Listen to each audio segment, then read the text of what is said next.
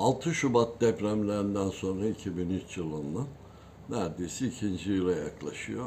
Mucbir sebepten dolayı esnaf da orada tabii e, mağdur durumdaydı. Türkiye bu 11'inin yarasını sarmaya çalışırken bir taraftan iş yerlerini, diğer taraftan konutlar vesaireler ama esnafın mağduriyeti halen bitmedi. Bir mucbir sebebin bu ay biliyorsunuz artık sonuna gelindi. Halbuki esnaf orada da ayağa kalk- kalkamadı. Ticari hayat hala rayına oturamadı.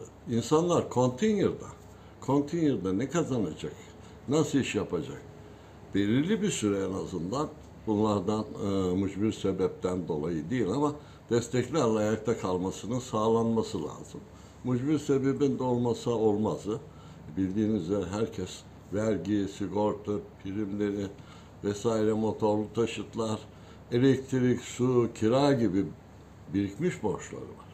Devletin bunlara en azından destek olması, bu sürelerin uzaması, faizlerin düşük faizle e, desteklenmesi, e, böylelikle oradaki ticaret ayağa kalktığı zaman inanın ki orada hem istihdamda hem insanlar bölgelerinde oturmak suretiyle e, en azından e, diğer illerde olan göçlerin tekrar kendi memleketlerine dönmek suretiyle ticaretlerini idame ettirecekler.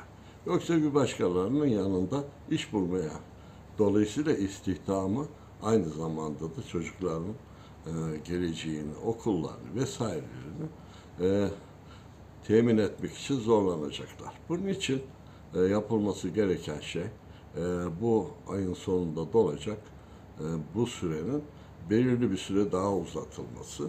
Yine aynı şekilde ağır deprem olan bölgelerde hele hele bunu ödemeleri falan değil de insanların or- oradaki kalmalarının sağlanması gerekiyor. Yani yerli bir olmuş, iş yeri bitmiş, evi yok, dışarıda konteynerda yaşayan insanlar için mutlaka e, devletimiz bu konuda gerekeni yapacak diye düşünüyoruz.